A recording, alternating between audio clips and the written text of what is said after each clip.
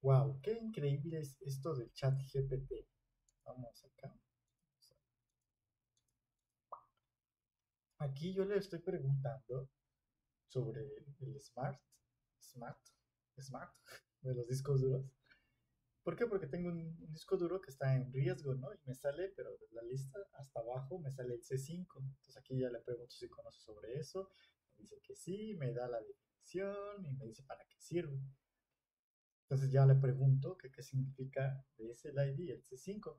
Aunque me da una respuesta que es el error de verificación de datos. Que el error de verificación de datos eh, no, aquí no existe error. aquí, bueno, en esta, lo que se supone que es el atributo, no sale. Este, pero, digo, bueno, entonces ya le pregunté después sobre el que yo tengo aquí, que es el sectores pendientes.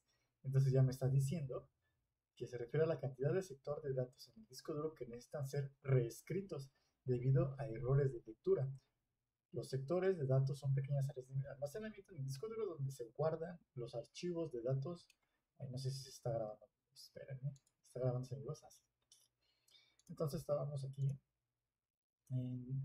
cuando el sistema operativo intenta acceder a un sector de datos y no puede leerlo correctamente, se marca como pendiente y se programa para ser reescrito. El número de sectores pendientes puede ser un indicador de problemas de hardware o software en el disco duro. Si el número de sectores pendientes es muy alto o está aumentando rápidamente, puede ser un signo de que el disco duro está fallando o tiene problemas de rendimiento. Es importante monitorear el número de sectores pendientes tomar medidas para solucionar cualquier problema antes que cause pérdidas de datos o fallos adicionales en el disco duro. Vamos a preguntarle aquí. ¿Se puede reparar ese error? Es posible que pueda solucionar el, error de verificación de datos ahí dice 5 y el aumento del número de sectores pendientes utilizando herramientas de reparación de disco duro. Y utilidades de mantenimiento del sistema operativo. Algunas acciones que puedes probar son ejecutar un escaneo de reparación del disco. Algunos sistemas operativos como Windows incluyen herramientas de reparación del disco. Que puedes ejecutar en disco duro, busca de errores, ejecutar la utilidad de mantenimiento del disco para ¿Mm? el CHK, SDK, SK. Ajá, ese sí lo conocían vamos a poder, vamos a intentar utilizarlo. Si ninguna de estas soluciones funciona, es posible que el problema sea demasiado grave y necesites reemplazar el disco duro. Ok, vamos a intentar hacer esa solución aquí.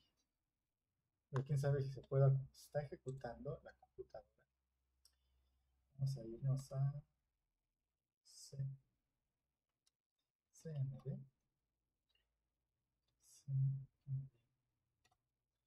Entonces vamos a ponerle C H K D S K y tenemos C dos puntos.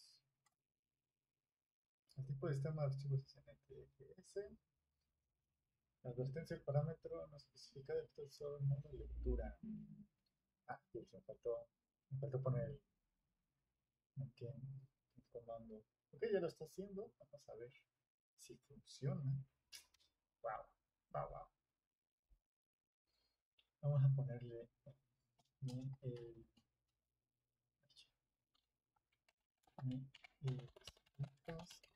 usar el comando c h k p s k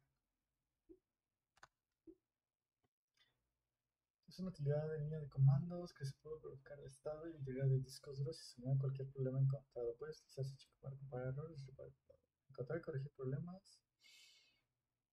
Para que se checa, sigue los siguientes pasos. Abre el símbolo del sistema. Ok, ese sí, es Windows C. En la ventana poner escribe el siguiente comando, presiona Enter. Ah, aquí mira, puso diagonal F. Disco de nuevo, por ejemplo, la opción indica que debe corregir los errores que ha encontrado. Ah, ok, yo sabía que poner ese.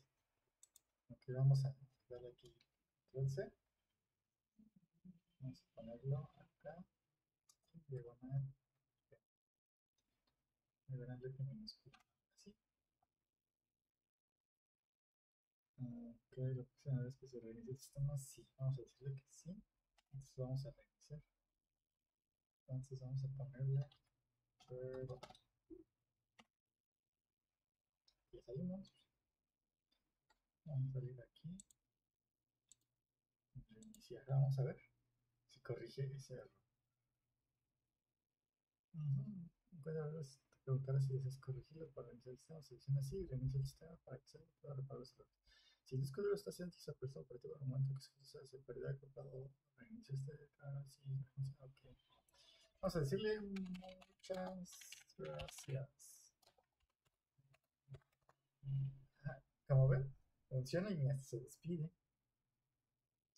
Qué bonito es el chat GPT.